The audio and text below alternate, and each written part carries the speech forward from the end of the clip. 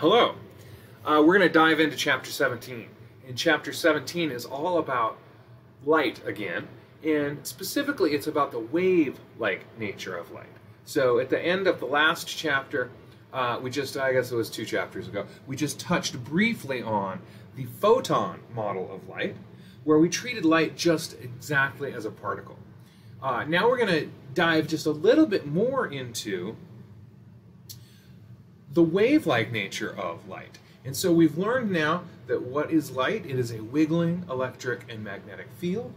And, okay, let's see what uh, kind of uh, phenomena that leads to. Okay, so here we go. Uh, wave optics. Here we see this uh, lovely uh, hummingbird. And, you know, the colors on a hummingbird are due not so much uh, to pigments in the feathers, but more um, actually a result of actual structure. So it is the structure of those feathers that produce those beautiful colors. And, and particularly um, some kinds of birds like magpies and uh, hummingbirds and others, they have this iridescent quality where mm, the color might shift depending on the exact angle that you are at. And that is really a result of uh, reflecting off of ridges in the feathers that are very closely spaced. Those ridges are close enough together um, that they're they're on the same order of size as the wavelength of light. And when light interacts with objects that's about the same size as the wavelength of the light, then we start to see diffraction effects. And there's all kinds of interesting ones. This is not unlike what happens with a, a CD. You guys remember CDs, right?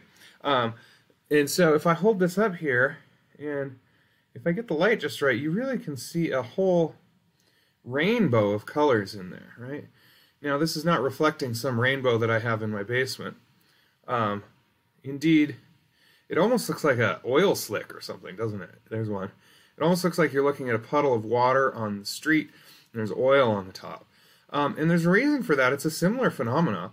Um, this is, uh, here we're looking at a diffractive effect, and depending on the angle that you're at here, um, the light combines in different ways. There's a bunch of ridges here, and the light reflects off of each of those ridges. And depending on the angle that you're at, you'll see different colors.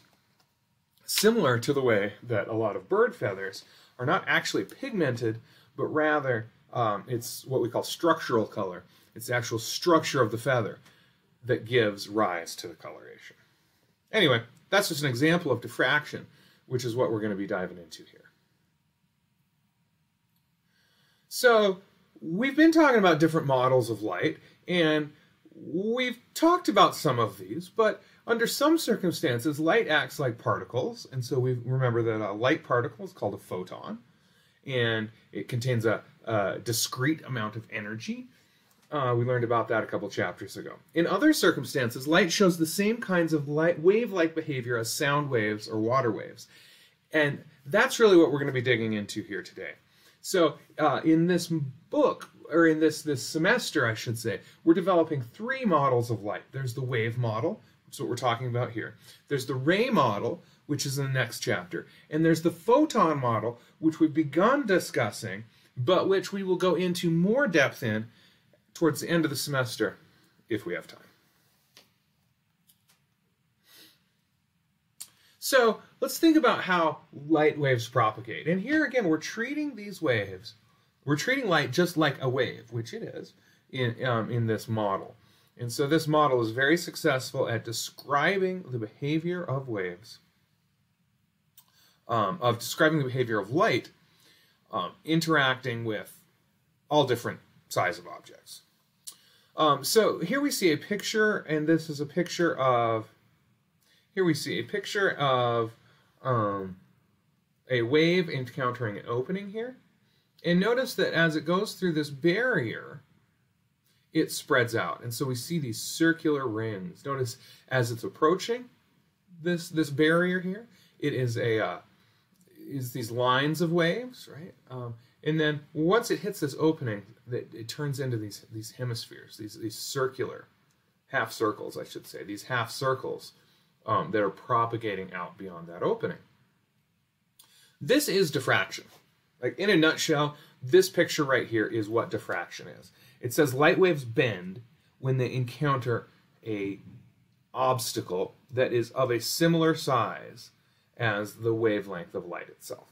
And so he, this is diffraction. Now, we get some surprising effects when we kind of start digging in a little bit more and seeing what happens, uh, you know, kind of following this to its logical conclusion, we get some surprising results. And and we need to kind of check in here and say, okay, diffraction is purely a wave-like phenomena. So if you show me something and it's diffracting, then I say, well, that thing must be a wave. Right? There's if I throw basketballs through some opening, I just end up with a pile of basketballs on the other side. Right? Particles don't diffract. Waves diffract, and, and we're going to need to keep that in mind as we go moving in towards the towards the uh, end of this semester. Now, what's the difference between this picture and this picture? Well, in this picture, uh, the opening that the wave is interacting with is much, much larger than the wavelength of light. And so we see these diffraction effects when, again, when light is interacting with objects that are on the same scale as the wavelength of light. And so here we, we don't see, oops, in this slide here, we don't see that diffraction effect, except for right on the very edge. You do see we see a little bit on the edge, but here in the middle, the waves just move straight forward. And so when light interacts with objects or openings that are much larger than the wavelength of the light, then we don't see these diffractive effects. We see distinct shadows. And that's really more a topic for the next chapter, which is all about the ray model of light. And so we'll talk a little bit about that in the next chapter. So again, diffraction becomes noticeable when the opening is comparable in size with the wavelength of the wave. Now, we've been talking a little bit about the speed of light. And so the speed of light is 3 times 10 to the 8th meters per second. That's just super, super fast. And we've maybe at some point in our lives we've learned that that's some sort of a cosmic speed limit that that no physical object or information can travel faster than the speed of light. And that's true. But maybe what you haven't learned is that the speed of light actually varies depending on what substance that light is moving through. So through empty space or through air it's basically moving at 3 times 10 to the 8th meters per second. It actually slows down a tiny bit when it comes into air, but not enough to worry about. So in empty space, light moves 3 times 10 to the 8th meters per second. But when it enters some other medium like water or glass, it slows down. And so we characterize how much it slows down by a quantity that we call the index of refraction. And we use the letter n to represent that. So the speed of light is characterized by an index of refraction n. And so notice that n is a unitless number, and it is equal to the speed of light in a vacuum divided by a speed of light in some material. And notice that n is always greater than 1, because light does not ever travel faster in any substance than it does in empty space. Um, we're going to find out in the next chapter that this n, this index of refraction, is also related to how much light bends when it moves from one medium to another. You've probably observed that. You've definitely observed it if you have contacts or glasses because you're looking at it right now. Uh, so n can characterize also how much light bends when it moves from one medium to another. But that is the subject for the next chapter, and we will get there. Um, here are some typical values.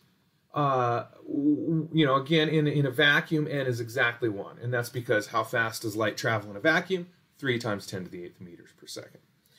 In air, it's extremely close to 1. For the, for the uh, purposes of solving problems in this class, you can just call it 1. Uh, water is about 1 and a third. So you see that now it's going mm, a bit slower. Right now you see that it's going about 3 fourths the speed in water. That is, light travels about three fourths the speed in water as it does in air. Moving along to glass. Um, glass uh, light travels about two thirds the speed of light in a vacuum when it's in glass. Now, diamond has a very large N. And you know what? This actually is interesting. Uh, this is why diamonds sparkle so much. It turns out that that high index of refraction makes it so that, uh, and and the way that a diamond is cut also makes it so that light comes into the top of the diamond. It rattles around in there and then comes back out the top. It actually reflects around inside the diamond and comes back out the top. Um, this reflection is easier to accomplish with substances with a very high index of refraction. And in fact, um, I hesitate to call diamond a common material, but as far as common materials that you know don't just exist in somebody's lab, a diamond is among the highest ends that are out there. There's much much higher ends that folks have created in the lab. But so we see. Remember our big money wave equation that v equals lambda f. And so this v, this is a velocity, equals wavelength times frequency. And we see here that if the frequency is going to stay the same, then as the velocity changes, the wavelength has to change. And in general, the wavelength of the transparent material in the transparent material is shorter than the wavelength in a vacuum.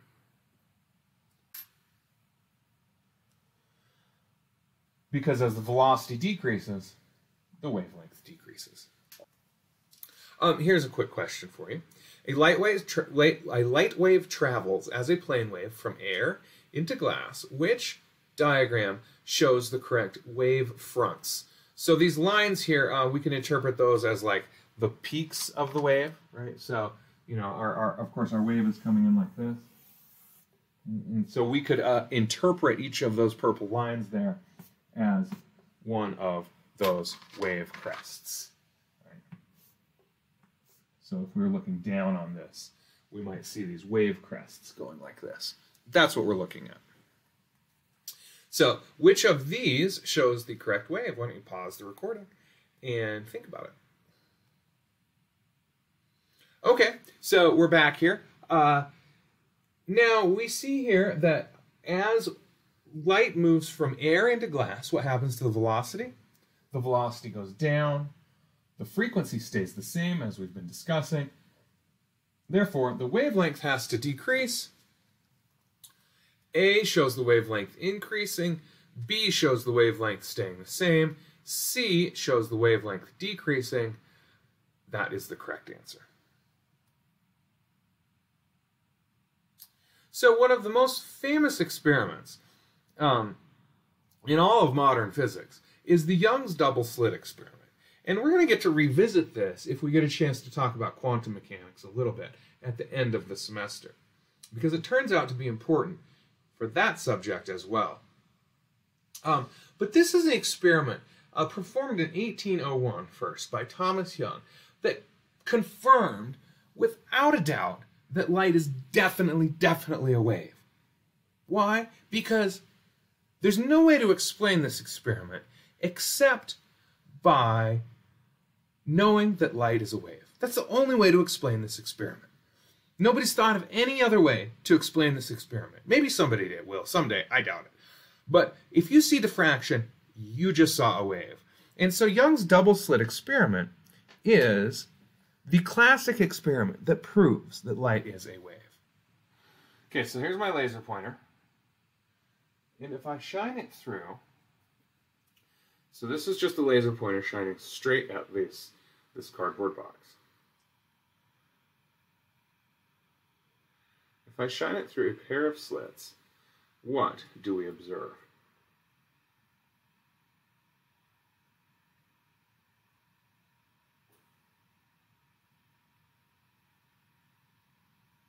Oh look, hopefully you can see that. This is, again, I'm shining this light through two narrow slits, right by side each other, right side by side with each other. And what do we see coming out the other side? Do we see two lines like we might expect? No, we don't. We see a very interesting diffraction pattern.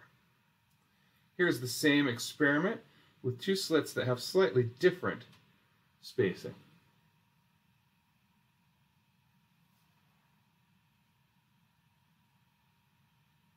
Again, this is two slits. Wow, that's pretty cool. You can see that one pretty good, I think. I hope you can. I can see it pretty good. I don't know if you can or not. Woo! Go science. Okay. Okay, so that's the Young's double slit experiment. And it actually it's very similar to another effect that we saw earlier in the semester, or rather that we heard earlier in the semester. Um, I played you a sound from two sources, and as we walked around the room, we heard quiet, loud, quiet, loud, quiet, loud. And the reason was because of waves interfering. Right? When I when I heard it quiet, that was when uh, the sound from one source was out of phase with the sound from the other source. And when I heard a loud spot, that's where the sound wave from one source was in phase with the sound from the other source. Again, waves combining. That's essentially what I've done here. Instead of having actually two speakers or two tuning forks or two separate sources for sound, here we've just taken one incident laser beam and split it into two, and they combine in a very surprising way. One incident laser beam split it into two, and they combine in a very surprising way. Um, here's a little simulation of these uh, two sources of waves combining. And so these are water waves. And we see here that in this line right here, we see destructive interference. This is where the waves are combining out of phase.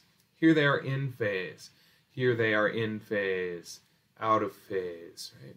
And so along these lines here we get cancellation, and the amplitude of the overall wave is lower than it would be if there were uh, only one source.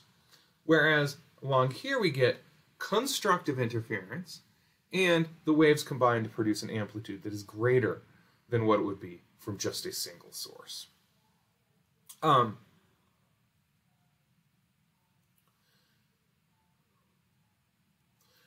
and much like what we learned uh, when we were talking about these sound waves, it's the same thing here.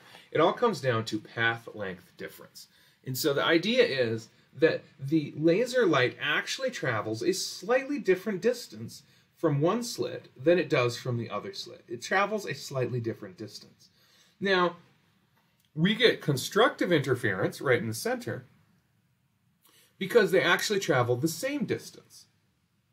We get a destructive interference band right here because at this point right here they travel slightly different distances and in fact they travel one half of a wavelength different distances. This right here is the m equals 3 bright spot.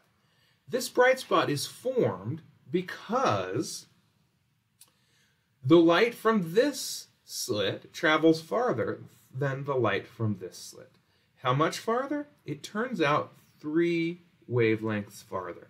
Remember, we get constructive interference when the path length difference is zero wavelengths, one wavelength, two wavelength, etc.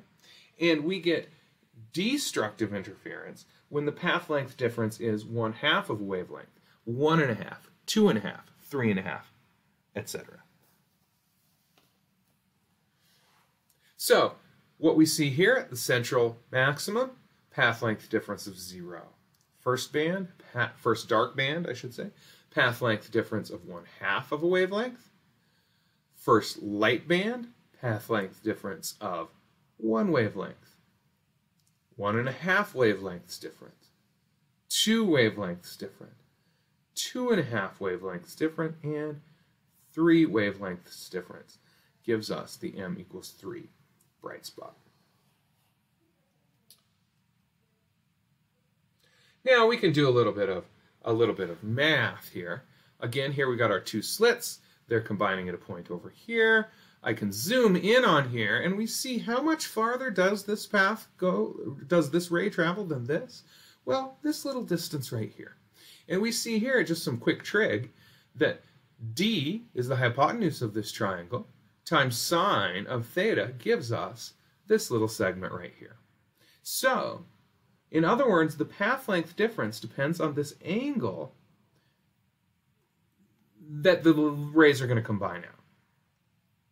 And so th this gives us a little a little drawing, and it helps to illustrate some of the terms here. We've got a D, that's the separation between our slits.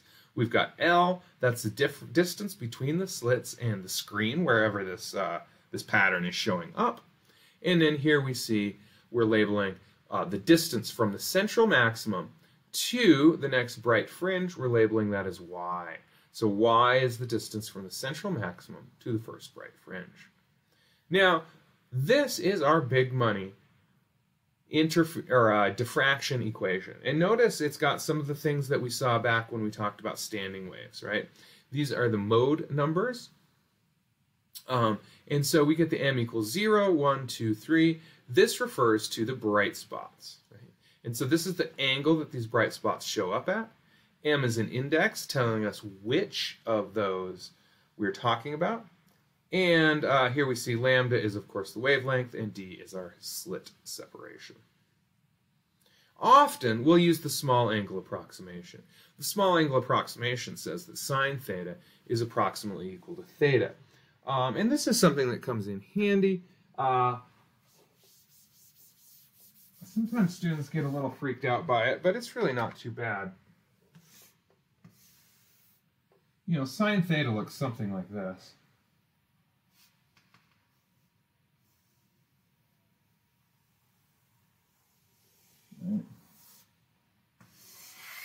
Something like that.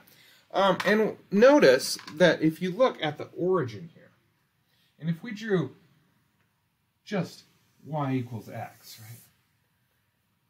So this would be, my white line here would be like, if this is theta, and this is y. And then the orange line is just y equals theta.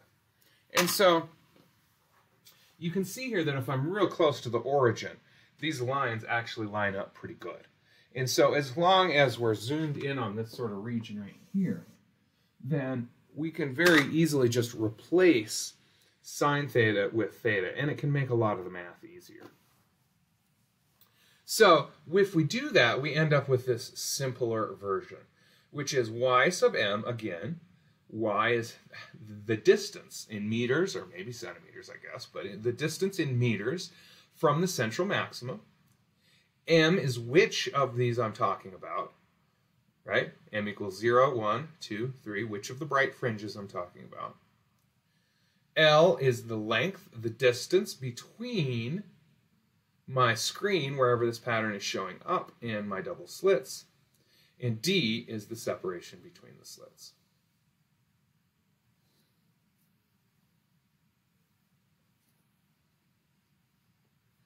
Okay.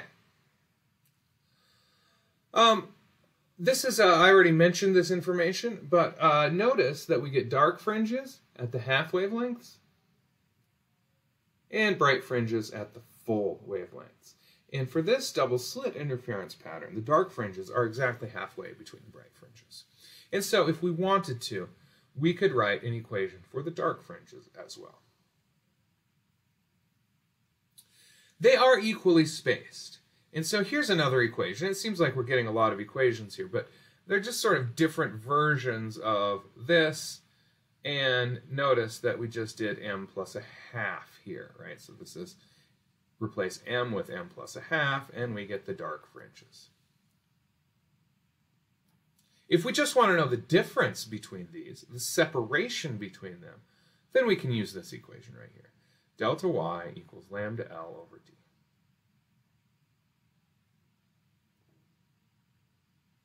Let's do a couple of examples. A laboratory experiment produces a double slit interference pattern on a screen. The point on the screen marked with a dot is how much further from the left slit than from the right slit. So here's our dot, here is our central maximum, um, and we're wondering how much farther is this from the left than it is from the right. Said another way, we're looking for the path length difference. Why don't you pause the recording and see if you can figure it out. Okay, recall that the central maximum is when the path length difference is zero. The m equals one is when the path length difference is one wavelength. And it looks to me like this is the m equals two, and so this must be a path length difference of two wavelengths.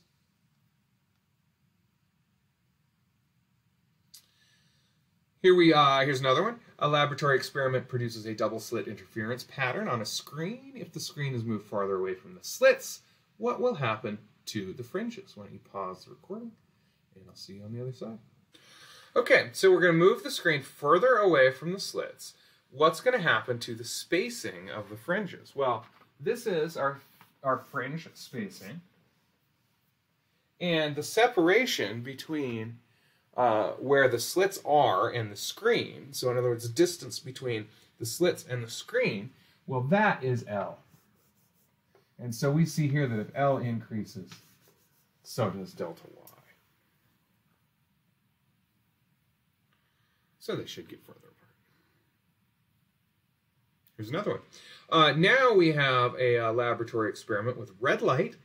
It produces a double slit interference pattern on a screen. What if green light is used with everything else the same? What happens to our screen, our fringe spacing? Okay, we're back. Again, our fringe spacing is delta y. Our wavelength is lambda, and green light has a shorter wavelength than red light does. So a shorter wavelength should mean smaller slit spacing. Or they'll get closer. Okay, here's a numerical example. Two narrow slits, 0.04 millimeters apart, are illuminated with light from a helium neon laser. This laser has a wavelength of 633 nanometers. What is the angle of the first m equals 1 bright fringe? And what is the angle of the 30th bright fringe?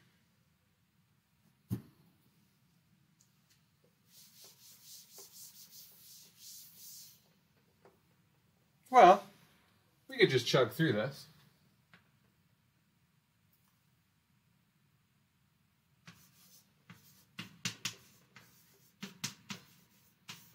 That is our equation that we're going to be working with. And they've asked us for the angle of the first bright fringe. And so we could just solve this for theta, right? Divide through by our d, and then take the inverse sine. So that theta equals sine inverse of m lambda over d.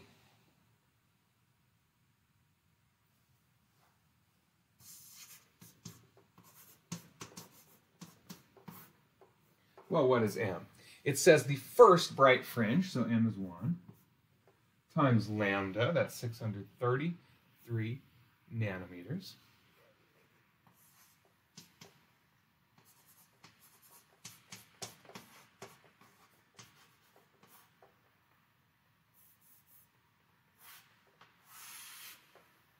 over D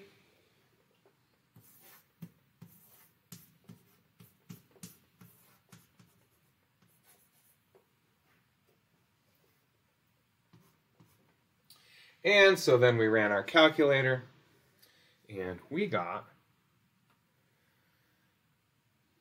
0. Point,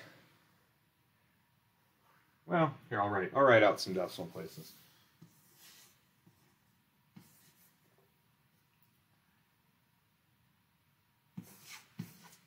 Zero six seven four four degrees. That's degrees you know, I usually don't keep that many sig figs. Um, I only did that just to say, hey, you know what, this is a really small angle, isn't it? Uh, 0.1 degrees, that's a small angle. You know what, with the small angle approximation, uh, we come up with this.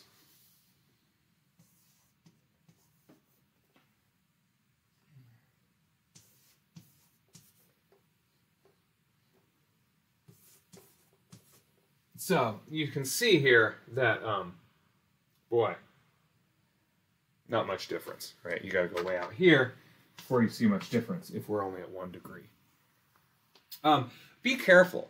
Uh, the small angle approximation only works in radians. So if you use the sine theta equals theta business, you got to be in radians. It just doesn't work in angles. So, okay. So what do we change for b? This was part A. What do we change for b? Well, we're still going to use this equation. We still do this. We still do this, except for now we plug in 30 here per m.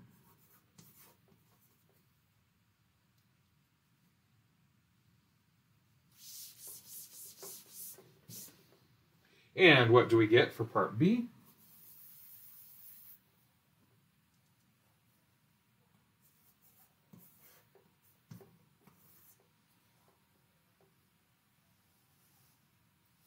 Boy, I didn't make, I didn't know. Here we go. And now we run our calculator, and we got 28.34.